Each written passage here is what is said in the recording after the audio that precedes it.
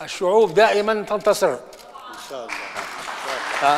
هذا وسام للسينما السورية التي يعني قدمت كل التحذير بان لا يحصل ما حصل يعني. لكن بالرغم من هذا يعني القضايا العادلة دائما هي تنتصر والشعوب قضاياها دائما قضايا عادلة